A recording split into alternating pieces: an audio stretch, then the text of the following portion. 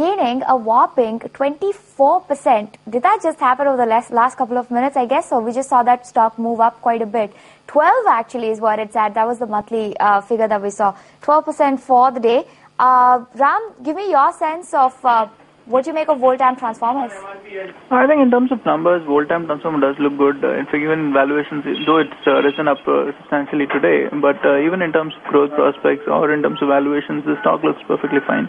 Uh, I think one can invest even at current levels uh, in the stock from medium-term perspective. Of course, if you can buy at depths, it will be good. Okay, all right. So hold on to